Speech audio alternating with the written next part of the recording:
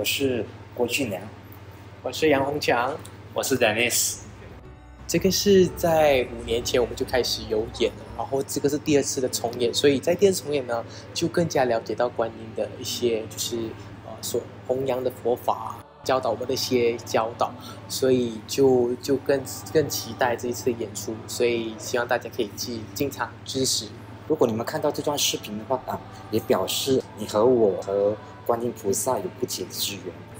两年前啊，我因为妈妈病重啊，我辞演这个遇见观音。两年过后，书生的姻缘又让我重新遇见观音，所以我这次我很感恩可以参加这次演出。呃。遇见观音也是不是第一次演出，但是是我是第一次参与，所以我觉得很开心，有这个机会可以参与这个演出。而且像导演讲的，其实是真的很不容易的，要做演出，尤其是在这个时代。所以我觉得啊，很感恩可以参与演出，所以我会好好珍惜这个机会。十二月十七、十八号，Spice Arena 遇见观音，到时候遇见你。